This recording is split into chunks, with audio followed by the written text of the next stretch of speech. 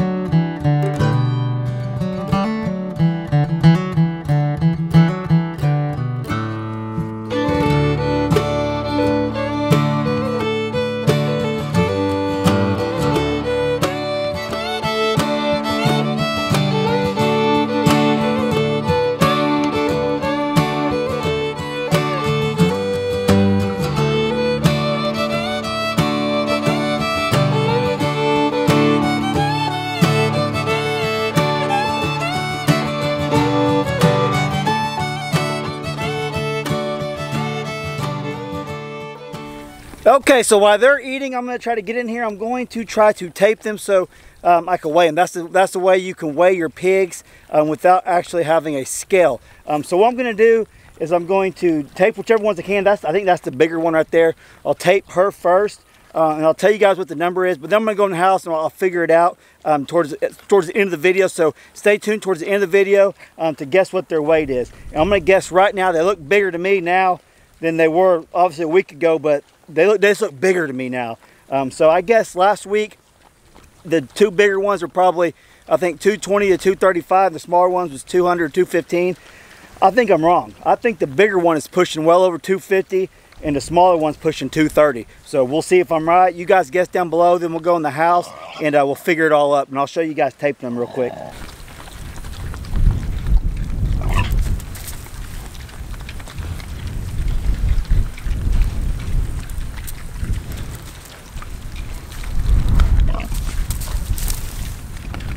Sometimes it takes a little while. Hopefully I can get them.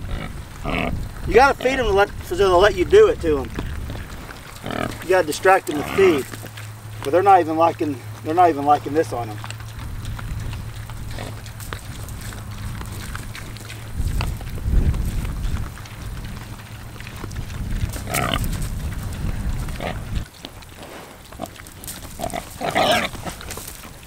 It may not happen. May not happen.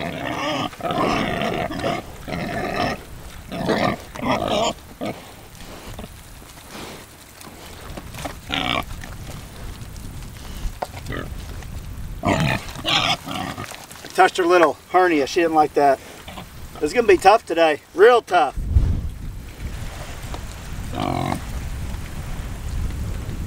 Forty-four and a half long.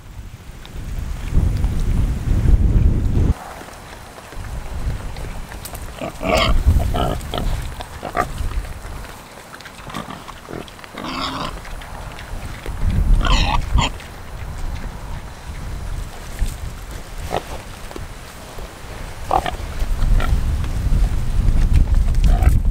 Drive me crazy. I ain't gonna be able to do it.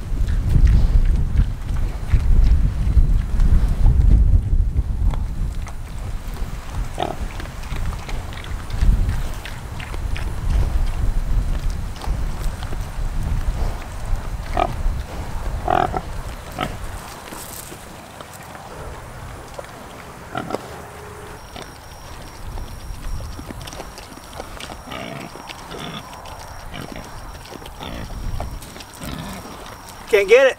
Just can't get it.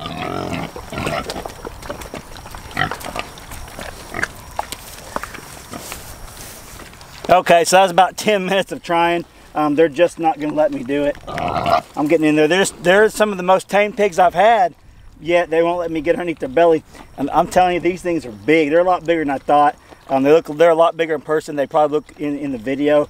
Um, I'm thinking this one right here is pushing 250, 260, and the other one's 230 probably around there, somewhere somewhere around there. Um, we'll probably have just have to wait till we get their live weight um, this next week. And uh, ah, that's that's the thing about homesteading. When you try to do some of these things on video, you just can't get it done.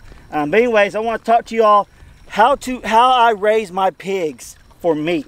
And you've if you have been following me over the last, I don't know, probably four or five months as I've had these pigs, six months, um, you'll see that I've kept them in this small pen. Um, it doesn't always look the nice, the nicest and, and cleanest, but it's a pig pen. It's not supposed to be your dog pen or something like that. It's a pig pen. And that's what a lot of people don't realize is pigs don't need a lot of space and they do they don't need a clean space. They love the mud, the dirt, the poop, the pee. They'll pee and poop in there and then they'll roll around and they'll drink it. And I mean, it's, a, it's the craziest thing in the world. Um, but I'm raising these pigs for four different families, I think. Wait, wait, one, two, four, six families. I'm raising these three pigs for six families. Um, Orange Family Homestead's getting a half, I'm getting a half, and then four other families are gonna get a half. Um, so it's gonna work out really well. Um, the last month, like I said before, I'm putting my straight corn, and the corn is so cheap right now. Um, it's almost like, man, I should have been feeding it the whole time, but they don't, they don't, uh, from my experience, they don't gain near as much weight um, with the corn, obviously, because it's not high in protein like, um, like the, the, the food that I have been giving them. And I, I get a local uh, pig feed, uh, pig grower from the local uh, mill that we have. Um, it's called Stillwater Milling.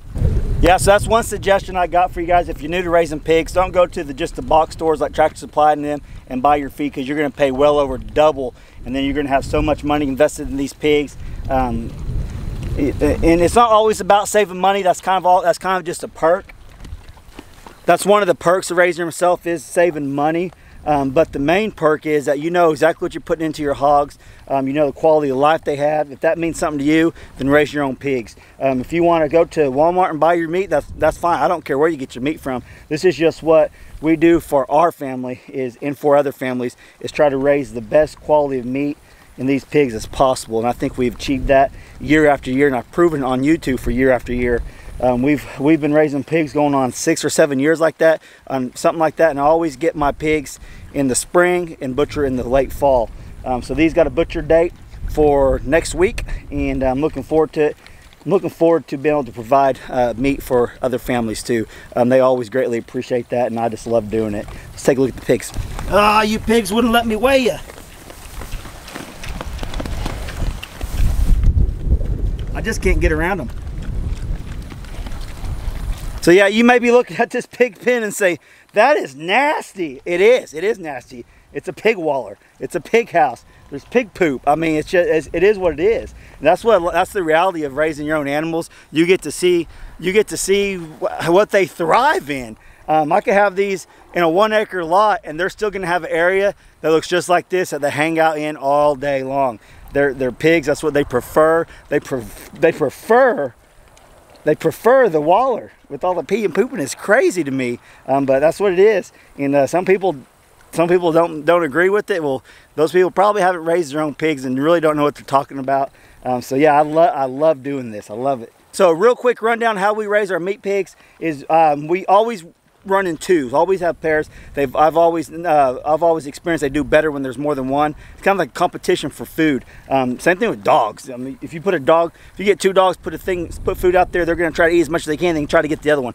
Pigs do the same thing. They'll try to eat as much as they can, so the other ones can't get it, and, they, and it ends up growing um, quicker, from my experience. And um, so we get the, we get the pigs in the spring, raise uh, raise them all summer long, butcher them in the fall. I have them in a, a 35 by 15 by 35 by 15 area with Premier Premier One netting. It's kind of this is an experiment I was doing for the company.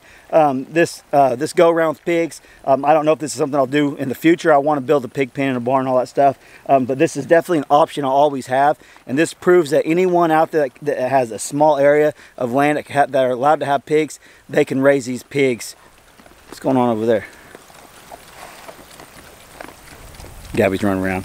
They can, you can raise it. You can raise these pigs in a small area. They don't need a big area. They don't need a big shelter. Um, they need some shade. They need they need something to get out from underneath the rain. They need some water and they need some food. That's all they need. It's awesome. Um, pigs are probably the, uh, my favorite animals to raise um, on the farm. They're just so easy and they're a stress reliever um, to just sit out here and watch. I wish I, I, wish I could get them tape for you guys so we could get a guesstimate on it, um, but it's not going to happen. I tried for 10 minutes and they're just not having anything to do with it.